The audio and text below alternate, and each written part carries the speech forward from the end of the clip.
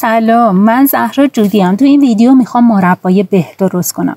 مربای به از ساده ترین خوش ترین و خوش رنگ ترین نوع مربا هاست. بگم که این حالت ژلاتینی مربای به من بدون استفاده از ژلاتینه.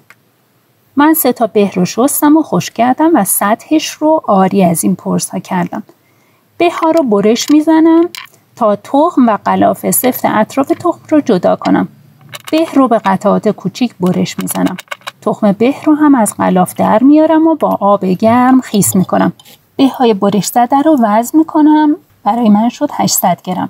من سه چهارم وزن به یعنی 600 گرم شکر رو روی به میریزم. آب سرد رو تا روی به اضافه می‌کنم. بدون هم زدن قابلمه رو روی شعله متوسط می‌ذارم تا بجوشه. چون هم زدن باعث میشه به طی پختن له بشه همچنین شکر کف کنه. پس بدون هم زدن منتظر جوشیدن آب میمونم. زمانی که آب شروع به جوشیدن کرد شعله رو خیلی کم می‌کنم و در قابلمه رو می‌ذارم. هر ساعت به مربا سر می‌زنم.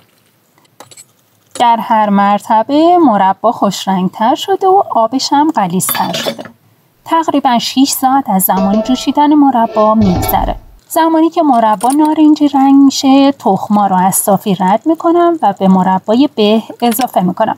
لاب تخم به باعث ژلاتینی شدن مربا میشه. توی این مرحله مربا رو هم می‌زنم تا لعاب تخم به تو همه مربا پخش بشه.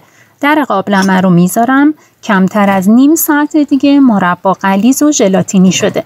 وقتی مربا با حبابای درشت میجوشه زمانیه که غلظت مربا رو امتحان می‌کنم. کمی از شیره مربا رو توی آب سرد میریزم. اینکه به همون شکل خودش تهنشین میشه و تو آب حل نمیشه یعنی اینکه مربا به غلظت مورد نظر رسیده. آب یه عدد لیمو ترش تازه رو به مربا اضافه می‌کنم تا مربا شکرک نزنه.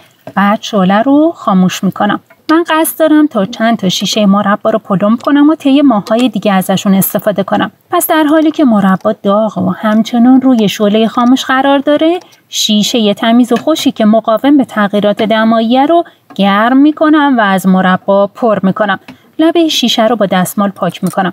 در فلزی شیشه رو روی اون می‌ذارم. چند بار باز و بسته می‌کنم تا روی ریلش جا بخوره بعد در رو خیلی محکم میبندم.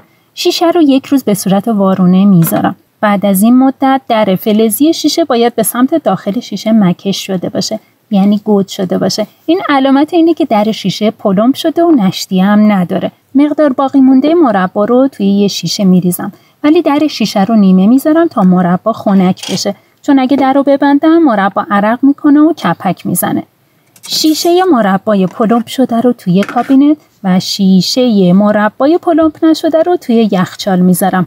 مربای به با رنگ و عطر بی‌نظیرش حاضره اگه این ویدیو رو دوست داشتید اون رو لایک کنید و برای دوستانتون ارسال کنید.